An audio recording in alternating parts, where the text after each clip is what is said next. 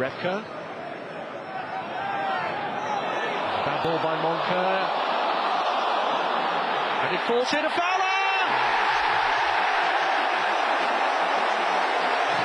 And with a cool and cute piece of finishing, Robbie Fowler lifts it over his former Liverpool colleague David James.